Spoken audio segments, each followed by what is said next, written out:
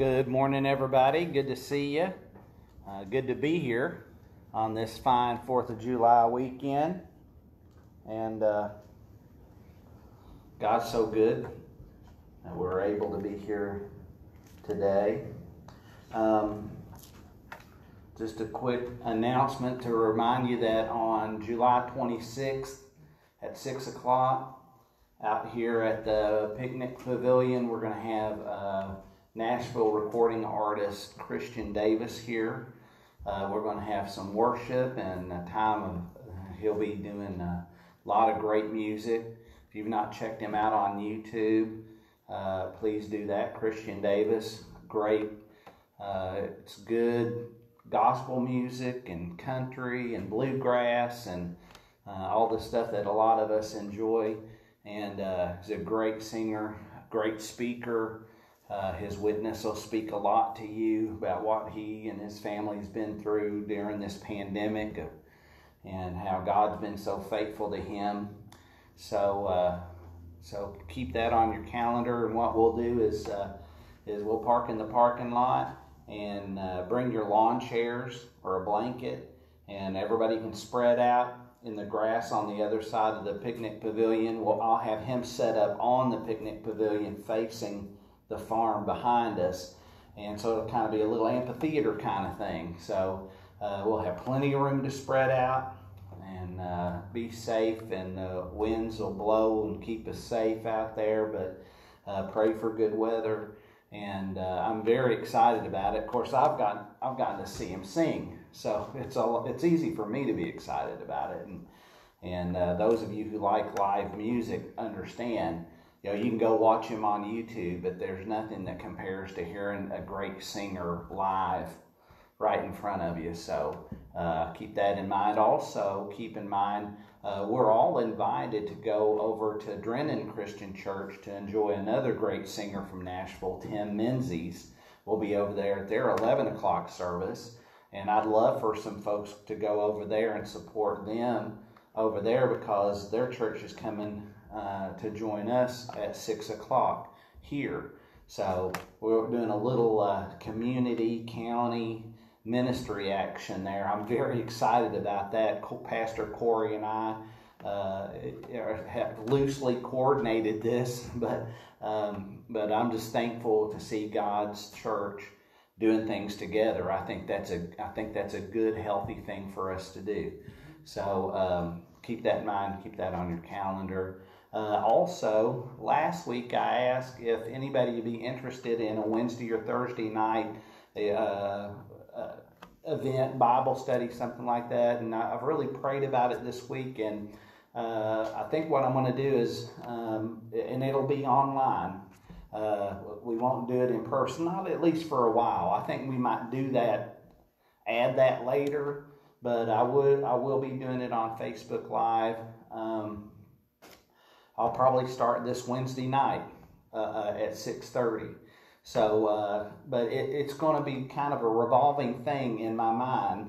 Is what it's going to be. Sometimes it might be music. Sometimes I might bring in other pastors uh, to talk and interview, and and it might be funny stuff, and it might, it might be uh, just me reading scripture or a prayer service. So keep that in mind also and um, and we'll we'll start out and we'll see maybe if Wednesdays or Thursdays or different times, and, of course, much like our services, uh, if you miss it at the time, the beauty of it is you can catch it at another time, anytime that's convenient for you, almost like a podcast type situation. So uh, I'll be I'll be doing something this Wednesday night. I'm still praying about what God wants wants me to do, but but. Uh, uh, 6.30 on Wednesday nights. Tune in, check in, and uh, just see what see what happens. And uh, and uh, just another way that we can reach out and spread the gospel of Jesus Christ. Uh, and our world needs more and more of that, as we all know. So mark that on your calendars as well. Um, any other announcements? Probably not, because nothing's really going on. we don't have backpacks or things like that. So um, keep that. Uh, if you have announcements, let me know ahead of time. Uh, let's pray. And also, uh, if at home you have uh, your communion elements, and folks, if you grabbed your your communion cup on your way in, here in just a few minutes, I'm going to have Barbara play for a few minutes when I finish my prayer, and uh, Barbara will play, and then um, we'll have communion. So let's pray. Dear Heavenly Father, we love you so much. We're so happy that we can be here together, Lord Jesus, whether it's here in person and we are actually seeing each other, which is a beautiful, wonderful thing, or whether uh, for the folks who are joining in via Facebook or watching later on YouTube. Father God, Lord Jesus, we just pray that you'll bless us and help us. Father God, we pray that our coming together our worship is a pleasing gift to you, Father God, for all that you've done for us. That, Father God, we would just live in gratitude all the time for your sacrifice and your great love and your mercy for redeeming us and helping us. Lord Jesus, I know each and every one of us have a long, huge prayer list, Father God, of people we're praying for. Lord Jesus, for many different things. Folks who have uh, are dealing with grief, struggling and mourning loss. Father God, people that are dealing with um, injuries and wounds, both physical, mental, spiritual, and emotional. Father God, Lord Jesus, we pray for the folks who have diseases and illnesses, COVID and cancer, and so many other things, Father God, that trouble us and our bodies in this world, Father. But Lord Jesus, we lift them all up to you. Every name, every person. And Lord Jesus, we lift them up to you for healing and help, for peace and comfort. Lord Jesus, we pray most of all for those who do not have a knowing of you or have rejected you outright.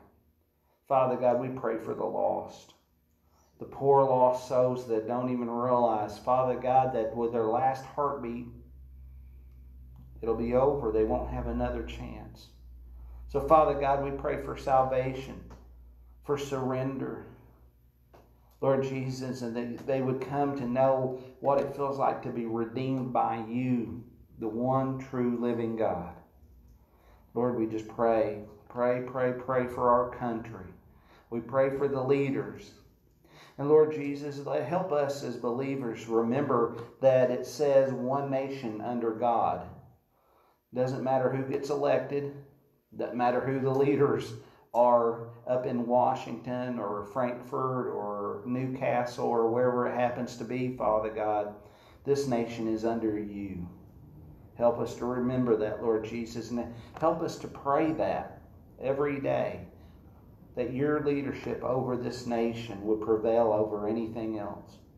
Father God, help us to love our neighbors, to live in brotherhood, in unity. Help us, Lord. Help us to know what we can do.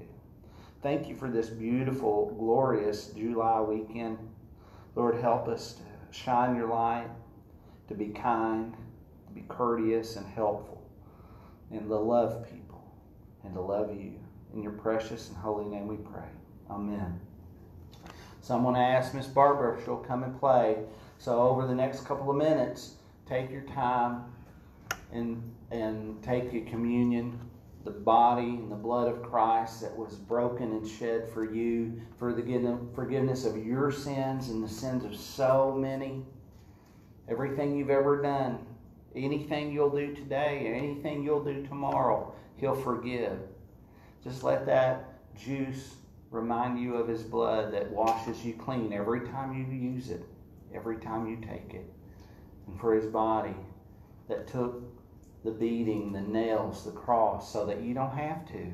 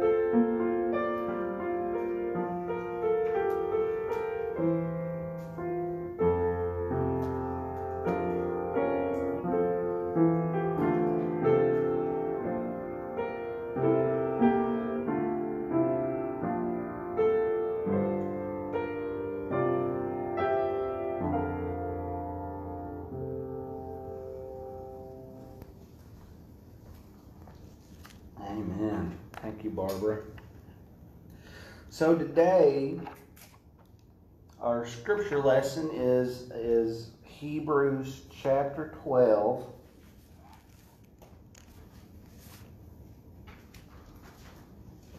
Hebrews chapter 12, beginning with verse 2. You'll remember this verse. You've seen this verse. You've heard this verse that I think, given our times, where we're at in our world, where we're at in our nation, I really do believe that uh, maybe we need to focus and put some more focus on this passage of Scripture, which ultimately means putting more focus on Jesus.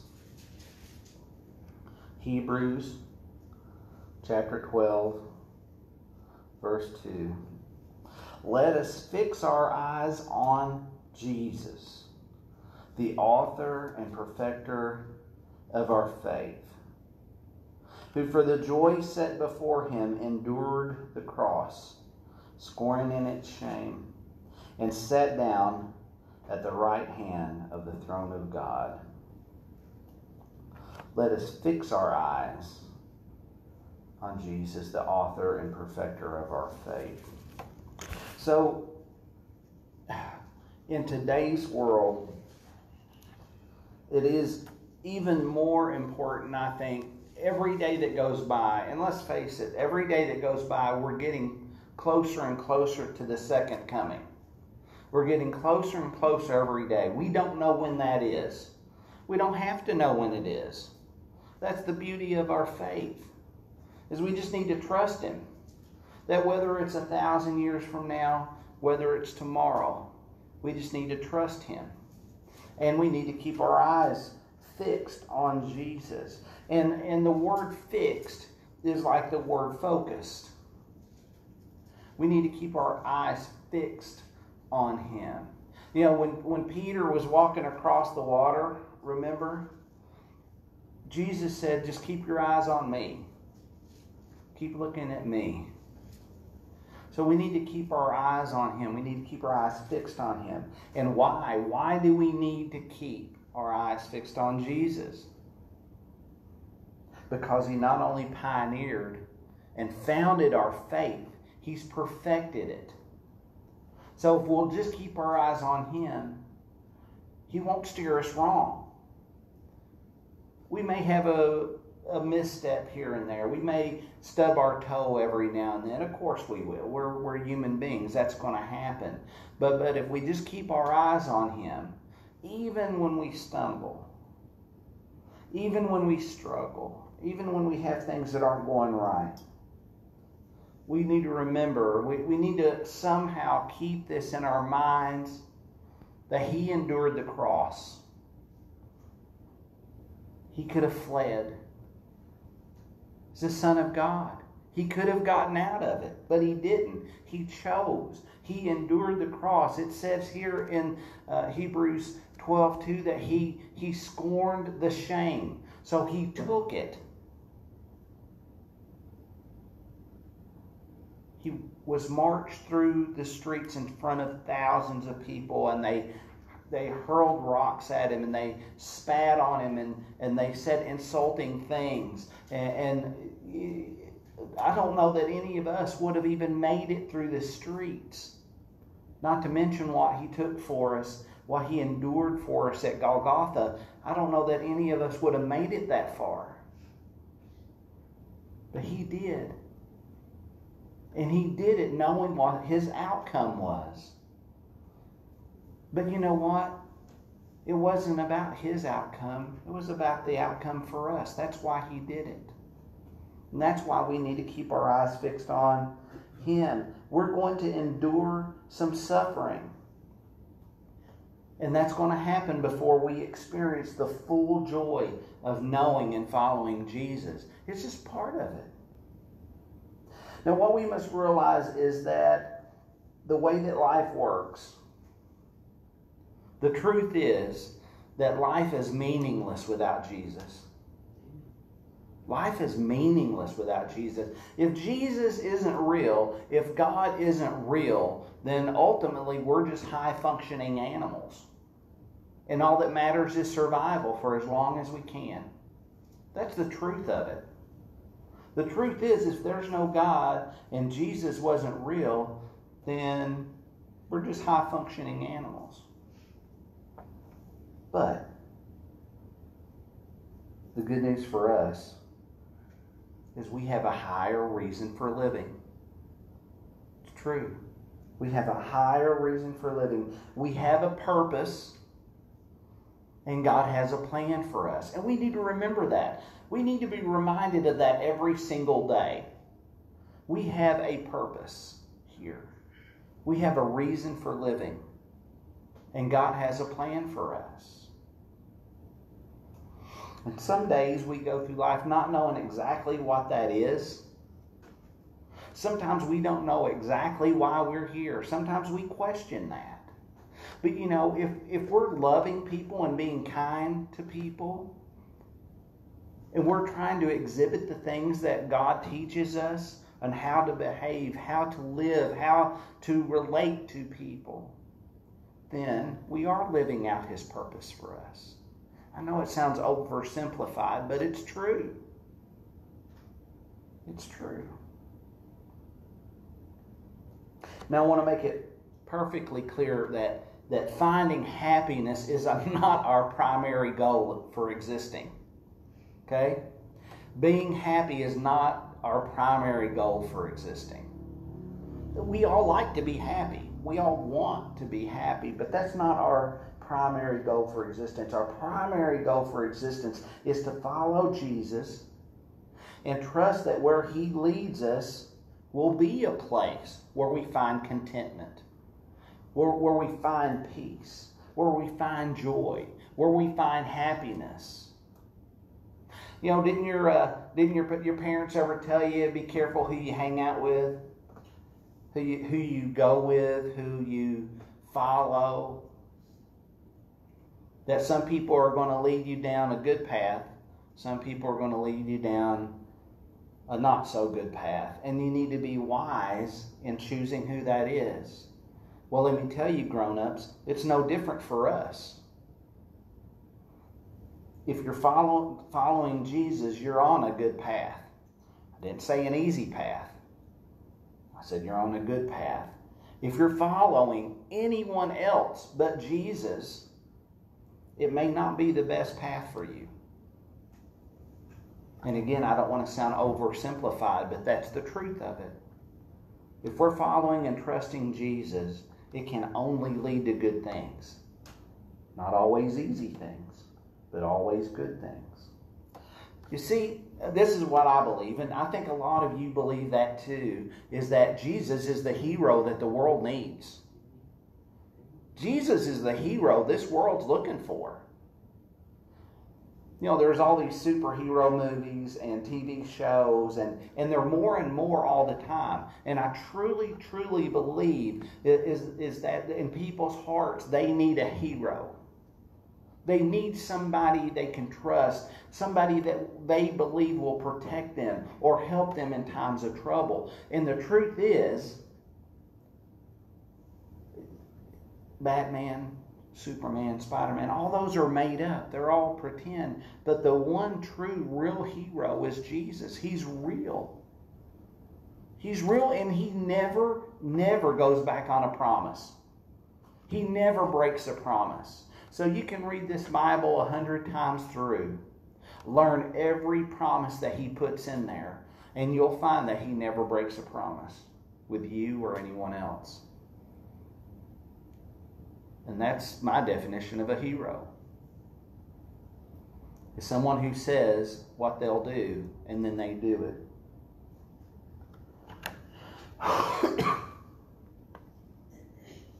Our little world here you know, it really does make it difficult to keep your eyes on Jesus. This world makes it difficult to stay focused on the things of God and the things of heaven. Even though we, we have the promise of heaven, uh, the promise that Jesus says He'll go prepare a place for you. I mean, a place for you individually, not just to mention everybody but He's going to go and prepare a place for us so that when we get to heaven, we'll have a home. And it'll be far greater than any home we can ever have here. But the world makes it difficult for us to keep our eyes on Jesus. You know, there's so many distractions. You know, isn't there? There's so many distractions. And, and it seems like there's more every day. You know, there's distraction in busyness. There's distraction in work. Every, uh, every one of us in this room know a workaholic that they are so laser focused on doing a job and that a lot of their affirmation comes through doing a job that, that they're, they're almost uh, bound to it. We all know somebody like that. A lot of times that's a distraction. Every aspect of our life can have distractions. So, so what do you do?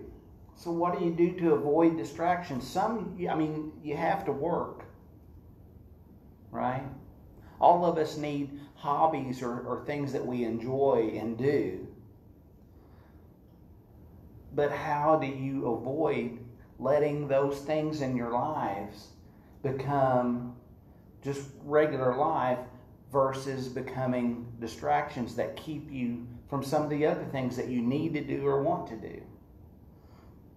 Well, I believe this. I believe that if we uh, use these following methods, like praying without ceasing, you know, I don't know about you, but a lot of times uh, I'm, I'm praying in the most mundane situations. Sometimes I'm just driving to work, and that's one of my prayer times. The radio typically is not on. Uh, I, I, I, just talk with God a little bit. I pray. I wake up in the morning and I have prayer time. I pray before I go to sleep. Most of the time, I'm falling asleep while I'm praying. You know, and I think God loves that. You ever been reading a book to your kid at night? You're not finished with the book. You look over and there they are laying asleep, right? It's a beautiful thing, isn't it? And sometimes you just find yourself sitting there looking at them, what they look like, so sweet and innocent and quiet. and they've fallen asleep. You don't get mad because you didn't get to finish the book, right? You find yourself in the glow of how much you love that child. Well, I believe that about God too. I think if you're talking to him and fall asleep at night, I think he just pats you on the head and goes, That is so cute. so we need to pray without ceasing. We not only need to read our Bibles, we need to learn to study our Bibles, we need to get into them. We, we need to have, I honestly believe, uh, we, have, we need to have some type of devotion. I believe that. I, I think that helps us. But I think also it is very, very important for us just to open the Bible and read it and study it and think about it, meditate on it. And, and God will put it into your heart and it will become part of your life. And there'll be times when people are speaking or things will be happening, and out of your consciousness, your subconsciousness, your spirit, Scripture will arise and it'll be relevant and you'll need it at that time. That's the beauty of the living Word of God. It's real and it's alive in your life. And let me tell you something, you don't hear a lot of preachers talk about this, but the Word of God, the Bible, and the Holy Spirit are connected. It's connected. It's supernatural and it's powerful. So if you feel disconnected from the Holy Spirit, study your Bible. And I can promise you, I promise this, I'm not making this up. I promise you, if you study and read your Bible, you will begin to feel a connection with the Holy Spirit like you've never felt before. It's an amazing and beautiful thing. So pray without ceasing, read and study His Bible. And listen to this this is something, it takes time but I really do think it's important. I think if you'll spend time talking to other believers about Jesus, about Scripture, about the way you feel, asking questions, spend time talking to other believers. And if you're a new, new believer or, or if you have questions, Go hang out and spend time with somebody who's further on their faith walk than you are. Somebody who's further along on their journey. And you'll know who that is. You probably already do know who that is. Spend time asking questions of someone, and, and let me tell you, most of the time, if you ask a believer and they don't know the answer, they'll, they'll say, Well, give me a little time. I don't know right off the top of my head, but I'll find out have, have the patience and understanding that it's okay to do that. Find yourself a spiritual mentor. And it doesn't matter how old you are, how young you are. Sometimes we all have questions, no matter how long we've lived in this life. It's okay. It's okay to have questions. It's okay to wonder. And you know something? This world teaches us not to do this, but it is absolutely, I believe, and the Bible says, necessary to tell others about where we fall short. Yes, we need to tell the Lord and ask the Lord for forgiveness for our sins. But I think it's really, really, important that we have people around us that we can say, Man, will you pray for me? I am messed up. I, I'm out of focus. I need you to pray for me. I'm struggling with spending too much time at work. I'm struggling with my health. I need to stop smoking. I have COPD. I need I, pray for me. Pray for me. You know, whatever it happens to be, whatever that situation happens to be, have a, another believer in your life that you can say, "Pray for me about this." There's strength in numbers, people. This is the way God intended our lives to be. Communicating with Him constantly, and communicating and leaning and depending upon each other. Even though the world teaches us that that's not fair, that it's all about us that our needs are the only thing that matters, that is not true. That is not the truth. And that is not a way to live a happy life. I'm telling you right now. taking care of number one, being selfish, is not the way to be happy. You'll never, ever be happy. You'll never be content. You'll never be satisfied. This passage of Scripture is here to remind us to avoid having that laser focus on our own trials and struggles.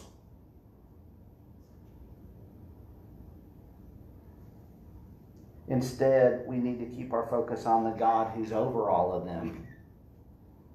I believe that God knows everything that's going on inside of me, the things I struggle with, the trials I'm going through, and some of those things I can only talk to Him about.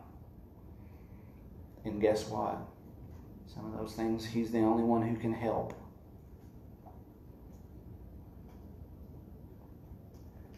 if we can somehow manage to keep our eyes on Jesus, we'll discover that those trials and struggles are easier to manage, and, we'll even have more peace while we're going through them. You know, instead of getting so angry or so disappointed that we lash out at somebody or even ourselves, instead of doing that, we say, okay, God, I need you, and I need you right now. And let Him do His thing. So we need to ask ourselves where is our focus? Do we focus more on God or do we focus more on our circumstances? Do we worry more about our struggles instead of trusting in God? Do I stay in fear because I'm always imagining what if scenarios? Well, what if this happens? What if that happens? If Jesus says to you today, sell everything you own and go here and do this, are you going to go home and start packing? Call the real estate agent, selling my house, selling everything I own. I'm going to Africa. I'm going to the Philippines. I'm going to inner city New York. I'm going to LA. I'm going to Korea. Uh, uh, put my house on the market. Uh, God's called me to go here, or go there. Are you going to go do that, or are you going to go? But but but God, what if? What if? What if this happens? What if that happens? Are we paralyzed by fear because of what if scenarios? What if this person I want to have a relationship with, what if they hurt me the same way somebody else did? What if I can't trust them? We can become paralyzed by fear. And let me tell you something humans will always battle with what our flesh desires We'll always battle with doing what's easy.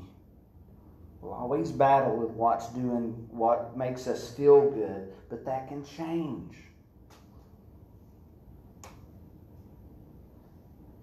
The best way to change your point of view, the best way to change what you're looking at, is to look at something else. To change your point of view, put your focus on something else. What do you what is your point of view today? Where is your focus today? Having a comfortable retirement? Taking care of your kids? Making sure all the bills get paid? I'm not saying it, any of that's not important. I'm not saying that. Making sure that you feel good. You get to do the things that you like. Where is your focus? So, the best way we can change is to change our point of view. We can learn to look up to Jesus, our hero.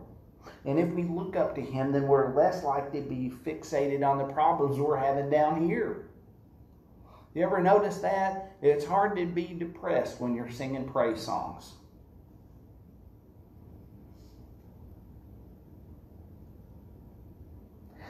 when we keep our eyes on Him, we're less tired. We're less weary. We become stronger. when we put our focus on Him. You ever notice that? We all go through seasons where maybe we're a little closer to the Lord, maybe we're reading our Bibles more, we're praying more, and then there's times when we're maybe in a season where we're less focused on Him. You ever notice how much more energy you have? How much better you feel when you are more intimate with the Lord? You're studying, you're, you're wanting to serve people. You're wanting to do stuff to help the church or help people somewhere, and you're doing things. Even though you know you may work 8, 10, 12 hours a day, but you may go uh, work at Waterstep, or or you may go to the help center, or you may go pack backpacks in Campbellsburg, or, or you may just stop and help somebody outside the road, or, or you may pay for somebody's groceries behind you, or, or uh, a million different things. You ever notice how energized you are? How much less tired you are? Then sometimes you just get off work and you just want to go home and get in the lazy boy and just rest and not be bothered. And it seems like you can never catch up on your rest. They're always tired. But there's a reason for that.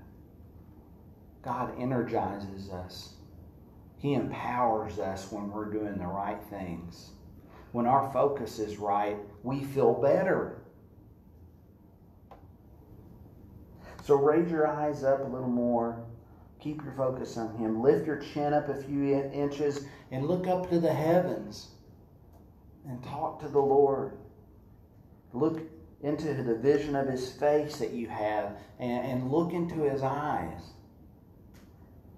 Well, maybe in your case, you do better to close your eyes and to focus on the vision that God uh, gives you of what He looks like, and and you tell God and say a little prayer that you really want to trust Him and you really want Him to teach you how to keep your eyes fixed on Him. It's truly something we have to learn. I'm convinced of that. We have to learn a lot of these things. A lot of the things of the faith are contrary to our natural world. The way we think and the way we do things. I want to I want to read you the lyrics for the chorus to a, a song that I love. Uh, Maddie actually got me hooked on this song uh, years ago but it's a uh, song by the, the, the group For King and Country. I know uh, several of you know about For King and Country. Great group, great songs. They have a song called Fix My Eyes. This is the chorus. And if this, this song's several, several years old, but if this song, if this, these lyrics, this chorus isn't meant for today, I don't know when it was. But listen to this. I'll love like I'm not scared. Give when it's not fair. Live life for a brother. Fight for the weak ones. Speak out for freedom. Find faith in the battle. Stand tall. But I listen to this. But above it all, fix my eyes on you. On you, God.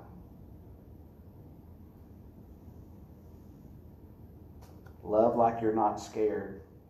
A lot of people are scared to love. A lot of people build up defenses. They're afraid of loving, afraid of being hurt, afraid of being used. But in God's kingdom, we need to love like we're not scared. We need to give when it's not fair. You ever thought, why don't all those big, giant, rich people give their money away? Why don't they do that? Well, some of them do. Some of the richest people in the world are also the biggest givers in the world. But God's not going to hold us accountable for what they give. God's going to hold us accountable for what we give. Not always talking about money either. Give when it's not fair. Sometimes that's our time. Sometimes that's our talents. Sometimes it's our money. Sometimes it's just our love or listening ears. It can be a lot of things. live life for another, take time for a brother, fight for the weak ones, speak out for freedom, find faith in the battle, stand tall, but above it all, keep your eyes on Jesus. I hope that we can all strive to fix our eyes on Him, especially given the, the state of the world right now. If you take your eyes off Him any at all, you could find yourself feeling hopeless right now. Isn't that true? If you, if you focus too much on what's going on in the world right now, it can, you can feel pretty bleak about things. But let me tell you something the promise of God is that if we follow Him, He's going to take care of us regardless of what the circumstances are out there. We have nothing to worry about. His promises are not going to change no matter how bad it gets out there. Okay? Remember that. It's really important for us to keep focused on that. True happiness, true contentment true joy, true peace, all come only from God. He's the source of those things. We need to learn that and remember that.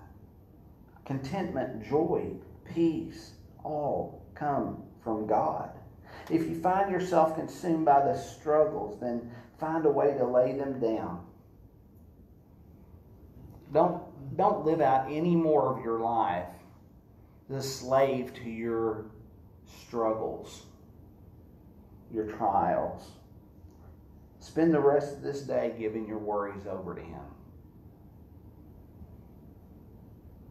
It's so easy for us to listen to a message, listen to a sermon, listen to a life lesson, whatever you want to call it. And in our heads, we're going, yes, yes, yes. Maybe even in our hearts, we're going, yes, yes, yes. But then we have to change something. Something has to change, something has to be different. That's where we stub our toe a lot of times. Part of fixing your eyes on Jesus is making up your mind to fix your eyes on Jesus. So think about that today. Pray about that you know, I encourage you, you know, most of you have a smartphone or, or a, internet or, or a laptop or computer. I encourage you to listen to the For King and Country song, Fix My Eyes. You know, listen to that maybe once, once a day, every day this week. It will pump you up. It's an upbeat song. It's got a great beat. You can dance to it. But it's got an incredible message. Let's move forward. Let's fix our eyes on Jesus. Let's pray.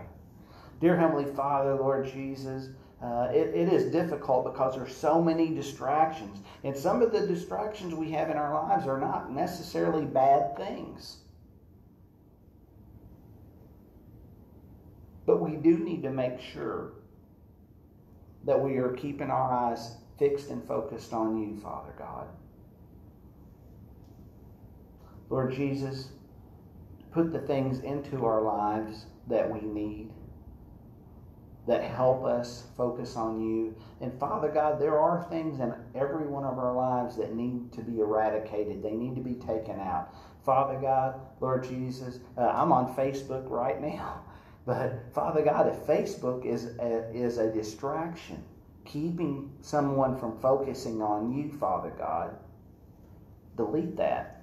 Get rid of it. If social media makes you so angry that you can't focus on the good things, get rid of it. Get rid of it. Maybe maybe someone watching or listening has a gambling problem or a drinking problem or a drugging problem or or extramarital affairs or or relationship problems that, that, that need to go away. Father God, Lord Jesus, give us the strength